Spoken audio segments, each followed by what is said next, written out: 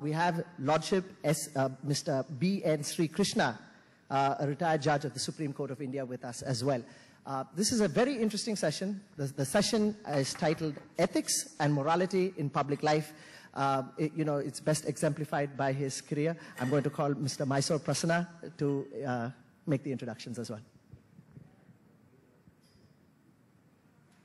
How privileged I am here to stand here before you and in the august company of two very eminent persons. The IDEX annual awards, the jury award for the impact person of the year, Justice Santosh Hegde. I went to his house to request him to find time to commute to Bombay and be able to address all of us in morality and ethics in public life, and also personally receive this award and enhance the image, prestige of the award itself. This is a unique event when the award is getting rewarded because the person who is receiving the award actually enhances the quality and the meaning of this award. And all of you know, Justice Santosh Hegde has, has had an illustrious career as a judge. He was Advocate General of Karnataka, then Additional Solicitor General, and then Solicitor General. And it was one person who was invited to become a Supreme Court judge directly. As you all know, way back in the emergency when the supersession of judges happened, three judges resigned protesting against that policy. Justice Shelat, Justice Grover, and Justice Hegde, the illustrious father of the illustrious son. And it is extremely um, interesting to know that Justice Santosh Hegde was never aspiring to become the judge of a Supreme Court. In fact, he passed on many offers to become the judge of the Karnataka High Court. But when he was offered to become a judge of the Supreme Court directly, he wasn't too sure. But apparently, by the time his father had passed away, and the family, particularly the wife and mother, they actually said, it would really be an honor to accept this position because your father will be smiling from the heavens to know that his son has carried on the tradition of being the torchbearer of justice. When I was talking to Justice Hegde, he actually told me that he would have quietly faded into the oblivion as a no, inconsequential, one of the retired judges. But in his own words, his donning the role of Lokayukta propelled him into a different league and the kind of uh, uh, history that he has had as a Lokayukta is something that you need to listen from him. Ladies and gentlemen, it is indeed a great honor. Put your hands together for Justice Santosh Hegde.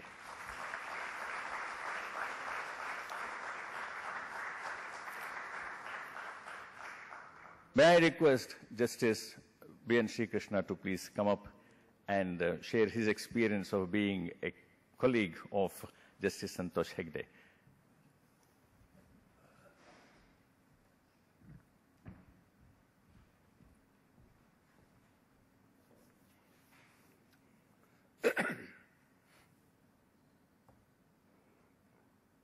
Mr. Justice Hegde, normally called by me as Santosh.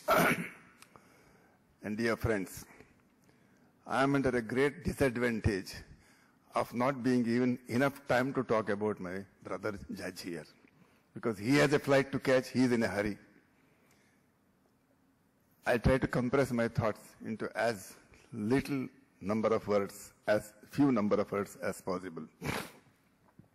I had the privilege of appearing before the illustrious father long, long ago when I was still a callow young junior.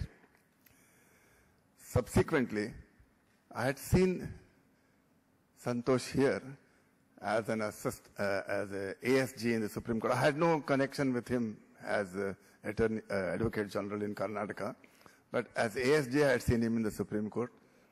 He was quite a senior man and I was not a junior walking around in the corridors. Then, as luck could have it, he became a colleague, rather I became a colleague of his in the Supreme Court and we had the privilege of sharing some time on the bench and off the bench and in the cozy corner where we used to have our private coffee discussions. That he is an upstanding person of unimpeachable character, all of you know. There is nothing else that can be said. We have read, we have seen on the TV the way, the zeal with which he went after people who, of doubtful integrity, the way in which he went after people who made money by wrong means and made a report to the government, which, like, alas, like all other good reports, gets uh, no action whatsoever from the governments for obvious reasons. That, despite this kind of a frustrating experience, he continued in bulldog fashion is a tribute to him that he is one of those persons who is interested in doing his job irrespective of the consequences, irrespective of what results it pro provides for him. But ultimately, good is always recognized irrespective of what people may say. I can tell you a very interesting anecdote. All of you must have heard of the great Kalidasa, who was the outstanding poet of this country. It appears that there was an assembly of very learned persons, a jury like your IDEX, thinking how to find out the best persons who are literatures. So they said, this, so the Sanskrit couplet goes, Pura kavinam ganana prasange kanishthikadhishtita kalidasaha. This is called Kanishthika in Sanskrit. So the first said, who is the best man? Kalidasa. Adyapi tattulya kavera bhava anamika sarthavati babhuva. This is called anamika in Sanskrit. Anamika means that which has no name. So they couldn't find a second name at all. So that is why this finger is always called anamika. So some, something like that I would say, if we were to be called today as to the best Lokayukta that this country has produced, undoubtedly all of us will say, yes, Mr. Justice Santosh Hegde. Thereafter, nobody. We have had, in Karnataka there has been a series of vacuums. Everybody has had some problem or the other and retired, recused, recused, recused, resigned. Therefore, this is the tribute that the only person who was found fit to act as a Lokayukta who had the courage enough to teach the government what needs to be done, face the chief minister in the eye and tell him that you better toe the proper line of rectitude, otherwise you'll also go behind the bars. And he was also responsible for some of the fellows who have really gone behind the bars. To such a person, that there should be recognition by a body like this of lawyers is therefore not very unusual, not very surprising. In fact, it should be a lobby of lawyers to say, let's go and not clap at all politicians and not keep on chasing politicians, but let's chase honest men so that they are in our midst. They teach us what is ethics, not only in public life, but also in private life. Public life and it can't be, it can't be that public. I'm surprised at the topic that you have chosen. Why is it only in public life that you talk of ethics? You should be, have in your private life also ethics also. Therefore, we can't find another paradigm of this kind of a subject. And despite the fact that I know him for a number of years, I have been his colleague and he has been a good friend, we have also had the privilege of uh, uh, sitting on arbitration panels. I say, my salute to you, Justice Hegde, for all the human service that you have rendered to the country. Uh, if a good cricketer can get Padma, what did he get? Bharat Ratna. I don't see why Bharat Ratna should not be given to him. May, let's all hope that he gets the Bharat Ratna one of these days. Thank you very much.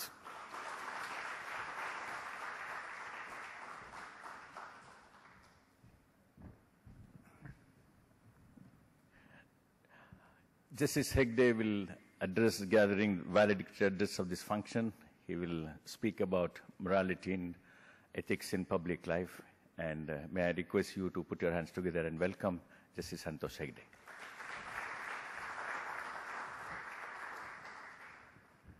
Good evening, ladies and gentlemen. Thank you, Sri Krishna. I will explain to you my experience as Karnataka Lokayukta, which is an ombudsman's institution. I think uh, that will speak about the morality and public life, which is the topic this evening. I spent five years in the Karnataka Lokayukta, which is an ombudsman institution. And in that five years, many things changed in me. Starting from the fact that I'm not wearing a suit today, because I found in the beginning when I was wearing suit and when I went to the office, where I had to interact with large number of poor people with torn shirts, torn dhotis, no slippers, such like people, I couldn't have an eye contact with them because they looked at me from a different view altogether. Then uh, with friends I discussed why should this be so and all. And we all decided let me change my attire and see how it works. I went with open shirt collar and started meeting people, insisting they should first and interact with me sitting and not standing. There was a lot of change I saw. People started talking to me, explaining their problems, and I could sort of help them out of their problems. Karnataka Lokayukta is an institution which has two powers. One to fight against corruption through the Karnataka Lokayukta police. The other is grievance redressal, redressing the grievances of the people arising from an institution created under the Constitution of India called the government. I saw so much of suffering of the people, arrogance of power, corruption, which really, really, if I explain it to you, it will be a, very difficult thing for you all to uh, understand and digest it because you would not have personally seen this. As a matter of fact, I thought after coming to the Karnataka Lokayukta, I was a frog in the well earlier, even if being a judge of the Supreme Court or other posts that I have held. I hope that is the same situation in other states also, but since I have no personal knowledge, I'm confining it to uh, my knowledge of the thing. I have come to the conclusion today that we live in a society which respects money and power only. It has no respect for honesty, hard work. In that background, if you see, my brother Sri Krishna spoke about values in those days. I have also seen values in 1950s and 60s. And today, I feel that most of the values the society should follow, people should follow, are disappearing from the realities of life. When I retired, I was thinking, what shall I do after retirement? Just then, Anna Hazare's movement against corruption started. So I joined them. 18 months I was with them. I was participating in the protest. One day, one of my colleagues from the bench telephoned to me. He saw me sitting in a protest in a Maidan. He telephoned to me and told me, Santosh, what are you doing? You're spoiling the reputation of judges. Sitting in a Maidan, never heard of it. I didn't know why I was doing that. 18 months went by. Then the Anna Hazare's team broke up. I came out of it because a part of it became political.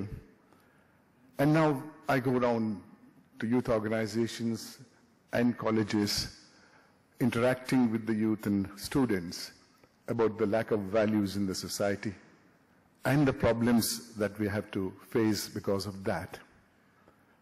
I find two of the most important human values are missing in a large number of people. The contentment in life and humanism. If you don't have contentment in life, I think you get a disease called greed, which has no meaning whatsoever, I mean, no, no treatment whatsoever. You are not content with any amount of money you make, any amount of property you acquire. If your aim is a crore rupees, you acquire crore rupees, you don't enjoy that crore rupees. You want multiple crores of rupees. You'll be never be ever happy at all. Coming to humanism, many of us think we are born human beings. I don't think so. I think we born to a species called Homo sapiens. And in our journey of life, if we acquire humanism, exhibit it, then die as a human being, according to me, there is no greater glory than that. Let me give, it to you, give you some examples of what I saw with the thing. In 2008, an handicapped tailor with his wife and a six months old child came to my office. I asked him, what's the problem? He said, this child doesn't have a rectum. It eats through the mouth, defecates through the mouth. The local doctor has suggested to take this child to a better hospital where a pediatric surgeon could help the child. They took the child to a government medical college hospital where the pediatric surgeon examined the child and said, yes, I will do this, but it will cost you so much money. Money is not money, money is bribe. Husband and wife gave every bit of money they had, uh, they put it on the table, and the doctor counts it and says, for this money, I'll make a hole near the rib cage so that the fecal matters could go out. Whatever example I'm giving it to you, it has appeared in the newspaper, it is in the uh, documents of the Karnataka Lokayukta. Not being satisfied, they brought the child to the Lokayukta. We, of course, sent the child to a private hospital because we had some contact with them. They didn't charge anything. And the parents' expenses for a month, the Lokayukta officers contributed and looked after that. What I'm trying to explain it to you is, look at this person. God gave him, he wanted to be educated. God gave him that boon. He wanted to be a doctor. God gave him that boon. He wanted to be a pediatric surgeon. God gave that boon. He finishes that. He goes to a government hospital where in Karnataka, at least, it's a hospital meant for the poorest, the poorest only. It's jocularly said, patients who go to a government hospital in the state of Karnataka vertically, they come out horizontally. That is the situation prevailing. I don't know what is in Maharashtra. This is one evidence or one piece of uh, uh, thing uh, which explains the lack of morality, lack of ethics in the profession. This doctor was not expected to do, do anything beyond the call of duty for which he was paid handsomely. And it is only his duty to do that. No. Hidden because you are suffering from a disease called greed. I'll give another example. In 2011, a person comes to Lokayukta to give a complaint. In Karnataka, there's a scheme called Bhagya Lakshmi. Under that scheme, a girl child born to a poor parent was entitled for some monetary benefits up to certain age. He came and complained that he is from a poor this thing, a family. He's got a girl child born recently. The social welfare department is not giving the benefit under the Bhagya Lakshmi scheme. We sent an officer to his village to find out whether he was a poor person coming under the category of below poverty line. The officer went and examined and came back and told us that this lady, his wife, pregnant lady, walked with a colleague of hers for seven kilometers from a village to the government hospital. The staff knew her condition, but still wanted money. They said, money first, bed next. So she sends the accompanying person to uh, village to get some money. Meantime, the staff said, don't sit here. Sit outside. She walks across, it's in a bus stop. Before the money could come, she delivers a child in the bus stop in front of the government hospital. What do you think of the public servants in the thing? Let me just give an example of the growth of greed in this country. 50s, there was a scam called uh, Jeep scam. The money lost to this country was 52 lakhs in purchasing Jeep vehicles for the Indian soldiers. Thereafter, every year, one scam or two scam came out, but then all scams don't come to the public domain. Mundhra scam of LIC, Dalmia scam of Bharat Bank, Nagarwala scam of Central Bank. Every time the scam came, number of zeros in that value started increasing. In 80s, 86, we had a big scam called Bofors. Money lost to this country was 64 crores of rupees. In 50s, it was 52 lakhs. In 80s, it was 64 crores. 2010, two scams. Commonwealth Games, 70,000 crores were lost to the country. Same year, 2G, 1.75 lakh crores was lost. This is not my figure. This is a figure given the CAG to the government of India. 2012 Coalgate, 1 lakh 86,000 crores. How can there be a development with so much of money being siphoned off? Let me compare it to the budget of state of Karnataka for the uh, year 2016-2017 for five and six and a half crores of people with 365 days. 1 crore 62 lakhs. Whereas in one scam, you take away 1.75 lakhs of I mean, crores. This is the greed that is prevailing in our nation today.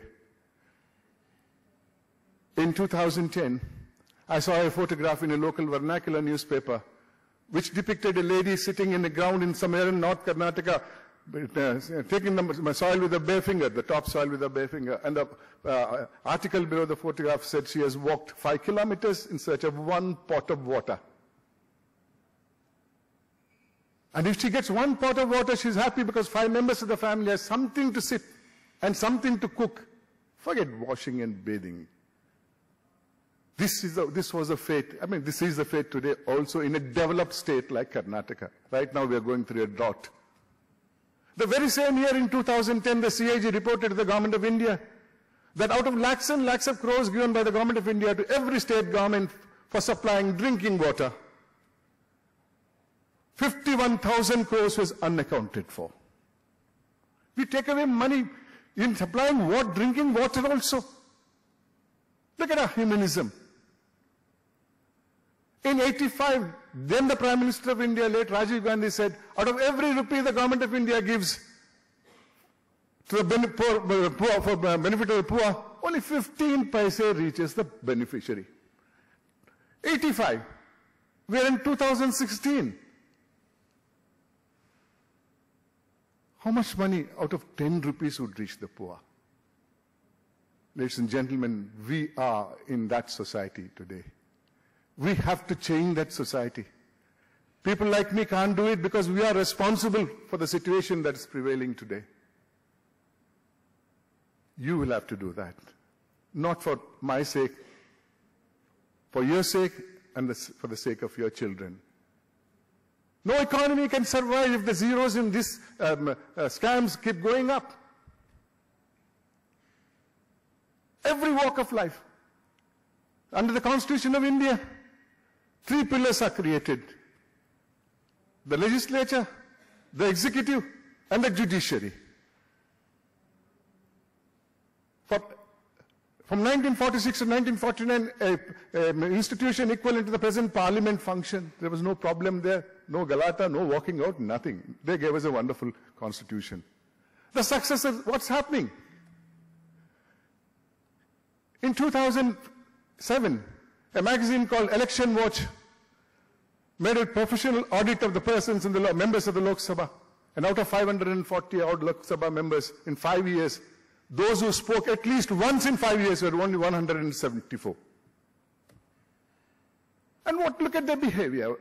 In 2012, when Andhra was being divided, the, the bill was being uh, discussed in the Lok Sabha, it was being telecast. There was maramari going on. People were all in the well of the house. One member even used pepper spray.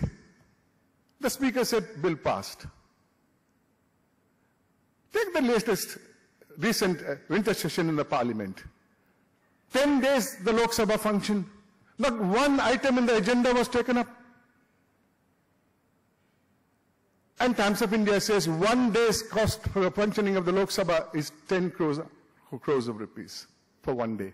For 10 days it's 100 crores of rupees. This is what is happening in the legislature. Let us take the executive, the second pillar of the Constitution. When the creation of executive was being discussed in the Constituent Assembly, many members said, they are the future administrators of this country. We should choose the best of the available people.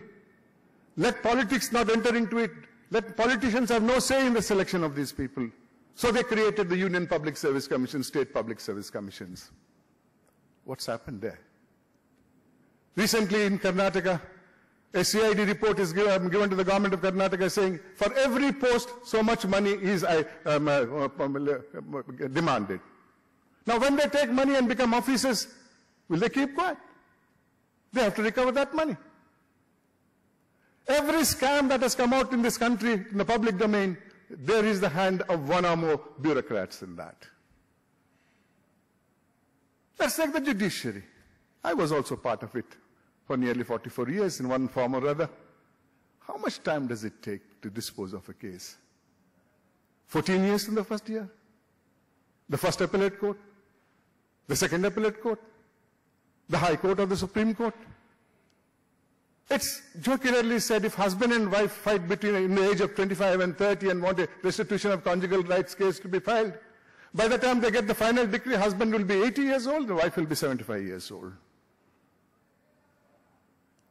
This is the position in which we are. There was a time when people used to say, if legislature fails, the executive fails, the judiciary will protect us. Well, this is the three pillars of the Constitution, but the greed is not confined only to these pillars of the It's in every walk of life, for example, take the media. Three or four years back, you must have heard the name of Niira Radia. The paid news concept. You take money and prepare a news item which we all, all have to swallow it. Where is their honesty? Very often when I go and interact with the students, they ask me a question, sir, in the government of Karnataka, which department is honest, sir? I have no answer to give it, so I quote Gautam Buddha. He told the child, my mother who lost a child, to revive the child, please go to your house and bring some mustard where there has been no death. She couldn't find one. So is the case with me. I couldn't find one uh, in a, an honest department in the government of Karnataka. If this system continues, if our greed continues, if our inhumanism, lack of humanism continues, please guess for yourself what has happened. I'll give an example of lack of humanism. In 2011, Air Marshal telephoned to me from Hyderabad. He said, Mr. Hegde, I never knew him. He telephoned to me. Mr. Hegde, three days back, my brother's 18-year-old daughter is killed in an accident in Bangalore. It's three days. We have kept an ambulance outside to bring the body to Hyderabad. The post-mortem is not done. Police say we won't hand over the body to the um, uh, whoever the person Please help us. There are members in the family who have not sipped a bit of water in the last three days. Even the last rite is not done. I said, okay, I'll call you in a couple of hours. I went to that hospital, met the superintendent. He said, sir, it's impossible. I have deputed two qualified doctors uh, to do the post-mortem. Let's summon them and see what's happened. One of them came to know that the Lokayukta sitting there is guilty conscience, uh, made him put, uh, leave and go away. The other doctor comes. Look at this dialogue, which is good enough for any movie, according to me. As he enters, he says, What's the hurry? The body is not putrefying. It's in a freezer. Am I to treat living patients first? Or prefer it oh, to uh, examine a dead body? The superintendent asked him, Who permitted you to go and uh, treat a patient in the main building? Oh, one person came and he said his relative uh, is not being properly treated. He wanted me to uh, treat him. So I went there to treat him for three days. So I asked him a question, doctor, did you know that person or the patient before? No, no, no, no, he came first time. The uh, post-mortem room is about uh, 50 meters away from the main building. Main building has about 50 doctors qualified in various uh, fields. Look at the bluff he comes out with then now. So I told him, I'm sitting here until you finish the post-mortem and hand over the body to the hearse I won't go. Then see what the consequences are. He did it. But look at his humanism. For contra, let me give one example of Karnataka recently, what happened about a month and a half back. One person by name Harish was run over by a vehicle. The front tire was punctured, he was running in the wheels. He ran over, the uh, uh, uh, truck ran over him, and the body was divided into two parts. But he's still alive. He was begging for water. Nobody gave him. They were photographing, videographing, everything was done, but nobody was going to give a little water. When the ambulance came, they picked up the bodies and put in the ambulance. Then he was still alive, and he was telling the ambulance attendant, please tell the doctor to donate my eyes. That is height of humanism, ladies and gentlemen. Even a bit of it is lacking in many people I've seen. Ladies and gentlemen, I'm thankful to IDEX for giving me this opportunity of being with you, and I thank you and the associates for that.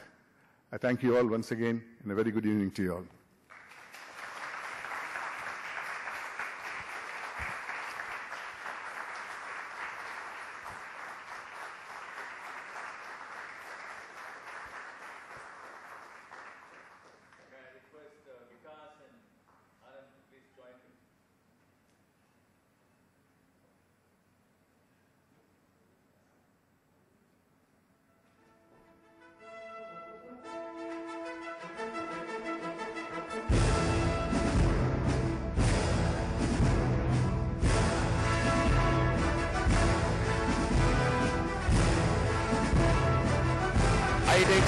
The honor and privilege to confer on Justice Hegde Impact Person of the Year. And may I request Justice B.N. Sri Krishna to please do the honors.